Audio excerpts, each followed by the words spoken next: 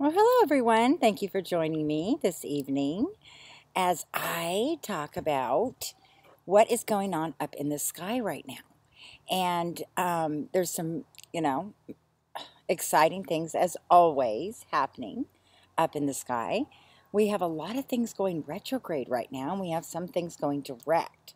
So I thought I'd come on before the sun goes down and give you guys a little update and what's going on, some things to look at. Also, I want to remind you guys, for those of you who are wanting to take astrology to the next level, I have um, recently launched a subscription page, only $9.99 a month, and you get four new teaching videos on how to read charts. I go into the depth for those of you who want to learn astrology as a fluent language. Okay, also, I still have some specials on my readings, natal chart reports, all of those good things. And those are all ways that help support my channel. So anything that you guys would like to check out, go to cowgirlastrologer.com. That would be awesome. All right, so the moon has just moved into Capricorn. It's been a heavy week, huh? With the moon in Scorpio. Last couple days, moon in Sagittarius seemed to get a little lighter. Now we've got the moon in Cap. And this is the next two days is really about kind of going back over things and looking at our foundation right now. Mercury is retrograde. Venus has just gone direct in Pisces for a very short period, and then it'll move back into Aries. I love when Venus is in Pisces. This is a very special time in the midst of all this craziness right now to take the time and really manifest and connect with who you are and the vision that you've been already given. I think sometimes we think that our visions are something, our dreams are something way out there that you know that we don't we don't have a right to have or that we'll never attain. But those things have been planted in us from birth. And it does take a lifetime planting seeds, taking care of the garden, growing, pulling weeds, new cycles, new seasons, new energy. You know, and I think we forget that life really does take time. And some of the lessons that we've been learning for many of us, all of us, some of these cycles that we've been in, we've been in for a while, for a couple of years, some of these major changes. We have to follow a couple of things and that are very critical in the astrology right now.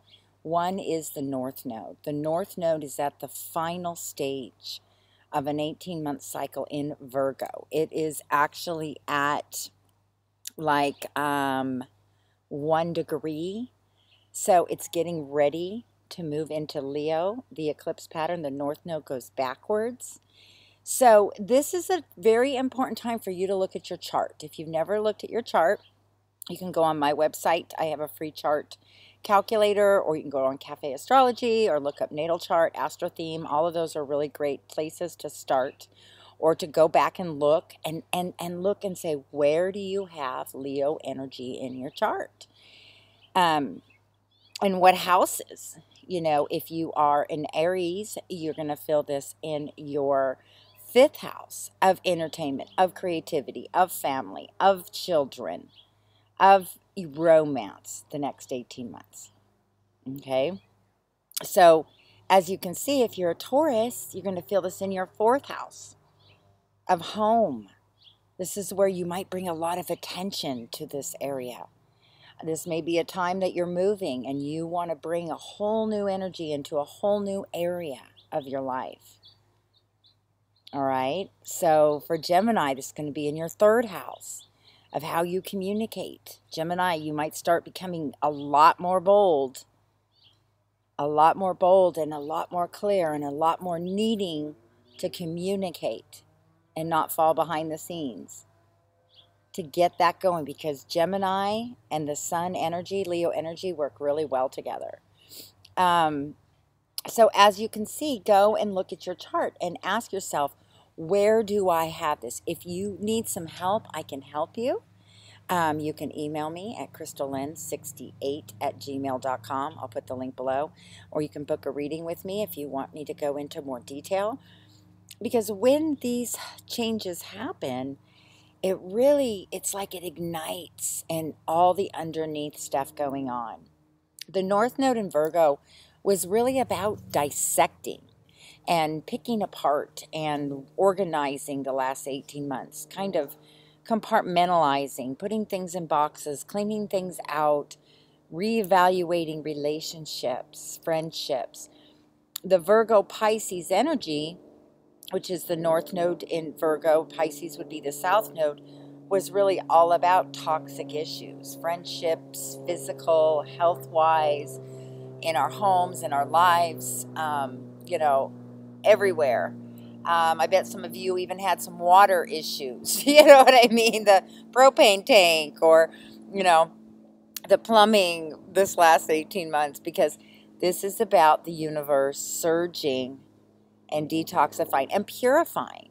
Taking something out, the universe doesn't always just want to remove. Its goal is is to is to um, you know what's the word I'm looking for? Uh, you know, reconcile. Reconcile. But we have choices. And if we don't learn the lessons that we needed to learn and we don't make the changes, we can't reconcile. We can't go to the next level in those situations. It takes everybody to be on board and everybody to sit down and have really honest conversations and honest, um, you know, game plan. Okay. When we have the energy that we've had um, with all of these retrogrades, especially Jupiter in Libra retrograde, it's been it's been really looking at relationships behind the scenes and really questioning those areas in our life that you know, we're suddenly feeling different about, maybe something you were able to handle before, but now you want to grow and, and it's just not going to work.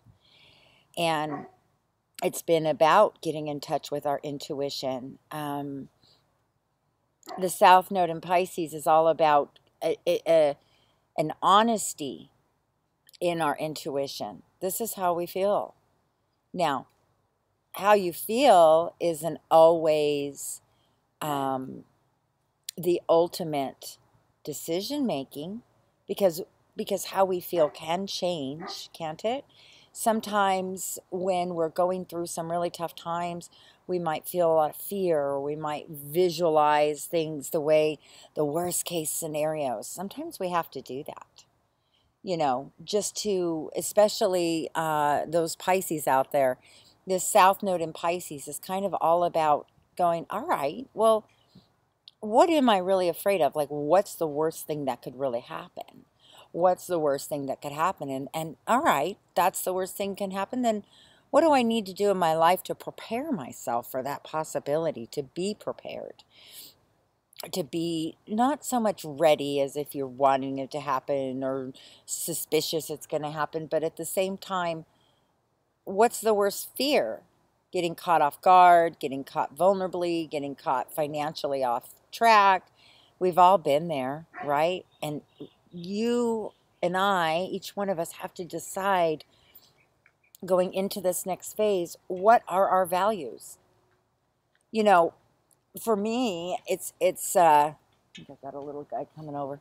For me, it's been really interesting because um, I'm going through a stage where, you know, I went back to school for my writing. I love to write. I loved, I have so many things going on up here. I have pieces of it all over the place. Chapters here, chapters there. Um, and I got, I got, allowed myself to get really distracted into so many other scenarios that are playing out. And I really had to do some soul searching and ask myself, are those are those situations my business? Are those situations things that I have to be involved in? What is my responsibilities? What are the things I value? What are the things I want to invest in my time, my thoughts, what I'm thinking about? Allowing myself and realizing that to do the work that I do, which is it requires in-depth quiet study, you know, astrology, the, the studies that I do and the writing that I do require me to create a space in my in my reality that allows me to be creative. And I've been trying to do all this work and all these projects kind of running on empty, kind of running on, you know, after everything else is done. At the end of the day, then I'll do these things that are important to me. Um, but I'm starting to kind of look at this value and say, well, you know what? These things that are important to me could really benefit me in these ways and benefit my family in these ways. And and if I don't take it seriously, I'm never going to get there. And going through these retrogrades are really helping me review and really find out what is important. You know, sometimes it's just a matter of, you know, sitting too long in social media and getting caught up in things that are kind of meaningless. Um, and they take your time with the moon in Capricorn right now, it's all about our time to evaluate the next two weeks. That time is of the essence. Time is precious. Um, our thoughts are precious. How we take care of ourselves is precious. These are things I think that at the tail end of North Node in Virgo, if it could give us any message at all, that would be it. What did you learn the last 18 months about taking care of yourself physically and mentally and emotionally? We're not done, but a lot of seeds have been planted. We've we've learned a lot the last 18 months. How are we going to take this into this new energy, this new fire energy? Because people are going to be coming out, right? Leo is all about coming out, about branding yourself, about saying, Here I am, about having that confidence. Um, you know, we lose that confidence often just from setback after setback after setback, or maybe we've tried this or we've tried that. And, you know, I think we're all evaluating with all the knowledge that we have right now what directions are we going in? Now's the time, the next few weeks, while we're going through this Mercury retrograde, lay low, silence is power, quietness in your mind, and taking the time to really Give yourself what you need so that you can accomplish the things you want to accomplish. To realize that it's important. You know, if you were going to be an athlete, um, you might cross train. You know, athletes often get up at five in the morning and they run for, you know, an hour. Then they come home and they eat and they, you know, and then they go to their, to their, um, you know, their sport even after that. So, you know, it's cross training. It's, it's, it's asking yourself, okay, this is the dream I have. This is what I've put into it. Yeah, I've put a lot into it. But what am I missing? What am I missing right now? And what am I allowing to take my eye off the ball? Right? What are you allowing to take your eye off the ball? You know, this is the time to review priorities. and Einstein, my donkey, seems to agree. So, you guys, just wanted to give you a little heads up. Mars is still in Taurus. Um, another couple weeks and it's going to move into Gemini. Okay, so again, here we go now. The next couple weeks, do this behind the scene work. Take those notes, take those walks, look within, take some time for yourself, and really, really plan out this plan of success for yourself. Give yourself permission to create a world that works for you. You know, I think sometimes we overcomplicate it. It can be simple. Sometimes we don't like simple. Simple might be boring. I know I like to always have this grandiose idea and plan that I'm looking towards. And I'm learning to kind of get more content with simple, a little more content with just laying low, laying back um, Mars and Taurus is and is all about you know getting that area secure, like I've been talking about, that sanctuary that you have. When it moves into Gemini now, the community, start wanting to get out and about in your community, connect with other people, other tribes. Um, you know, there's going to be a lot of energy starting to stir. It's been very quiet, kind of heavy for a while. We made it through all the Pisces energy, and now spring and, and summer are coming. And um, this is a chance for us to really, you know, get in the game. But the next few weeks, strategize, strategize, strategize. Okay?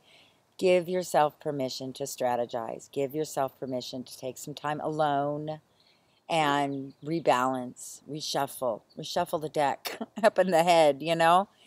Um, we've been going through a lot of obsessive energy. So for a lot of people, it's been staying up in the head and not getting a lot of stuff done. Carrying a lot of heavy burdens, um, emotional burdens, um, and really looking at what way are we going to go. And, you know, plus the fact that we're, you know, trying to figure out our reality within this new world reality. You know, it can be paralyzing. So I think we have to stay really focused on what can we do, not the things we can't do. There might be things we can't do, but what can we do?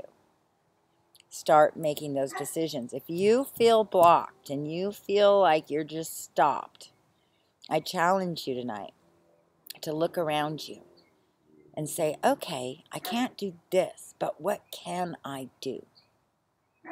All right? What can I do to move around this block? How can I get ready for when the block opens?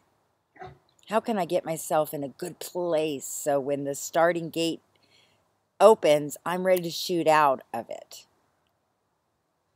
All of these cycles prepare, each cycle prepares one for the next, for the next, for the next. And even the retrogrades take us back, reevaluate, restructure, reconsider, reconnect. You know, they're hard they're hard times because we make them hard. We make retrogrades hard because we none of us want to slow down. We've got this mentality of conditioning that we need to stay going, going, going, going all the time. So, you know, when we do slow down or we're not thinking clear enough or we're feeling really drained, um, we think something's wrong with us. Well, you know, you've got to understand we're moving with this energy.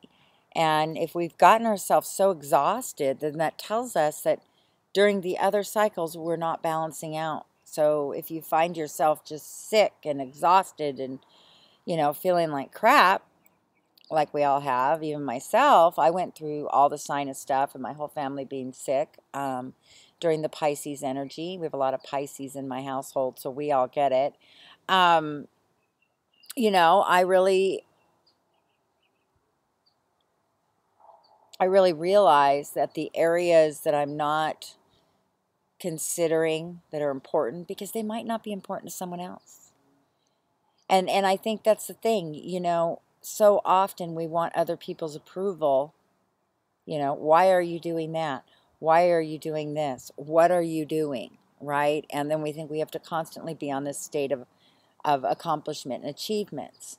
But accomplishment and achievements are moments in time that happen because of the behind the scene work. Okay? So we get moments, we get we get time, we get highlighted moments, but they come from the hard work in the background. And, you know, a lot of us, you know, it's like if we're not having these highlighted moments, something's wrong. Oh, the universe is so much bigger than that. And that's what I'm learning that even in those quiet times, that there's powerful things happening and allow yourself. You know, I've been really allowing myself to, you know, give myself permission. What do I want my life to look like? Um, can I accomplish that? You know, what would it take to accomplish that? What would I have to do to accomplish that? Do I want it that bad to do that work for it? Right? What is it? You know, do you want independence? Do you not want to not have to live at your mom and dad's house anymore? Do you want to have a car? Do you, you know, it doesn't matter. Do you want to be able to have a job? Do you want to be able to have, you know, know where you're going every day? Or do you like the feeling of your own creation? You know, or you need a push to, to, to get that idea out there. Um, you know, it just comes down to at the end of the day, believe in it. Believe in it. Believe that the world needs it. And with the North Node moving into Leo, this is an opportunity to create the package, to create the brand and say, look what I got. Here I come. So, all right, you guys. Well, I hope you will check out my website. I hope you'll come over to my subscription page. I'm really excited about. And uh, like I said, or if you just need an update, a reading, a lot of my regulars are coming back right now. Thank you for that, you guys. If you need that, um, I'm here and I would love to be of help. And onward we go. All right, you guys, have a great night.